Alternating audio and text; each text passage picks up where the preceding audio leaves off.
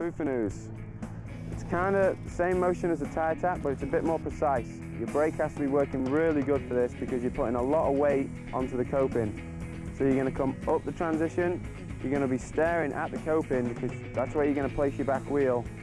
You come out, put your back wheel on, lock your brake, weight on the tire. Your front end might drop a little bit, but then you just have to pull it back.